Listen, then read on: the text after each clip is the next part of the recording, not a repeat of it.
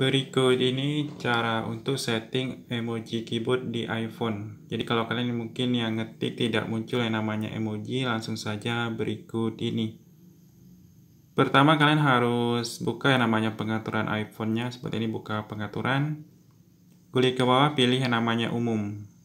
Nah setelah umum di sini kan ada yang namanya papan ketik, silakan dipilih. Nah di sini ada satu papan ketik, silakan dipilih. Nah karena emoji keyboard belum ada, kalian bisa pilih tambahkan papan ketik baru. Di sini kalau ingin mencari emoji keyboard itu, kita bisa pilih pencarian ini ketik emoji. Nah, yang ini.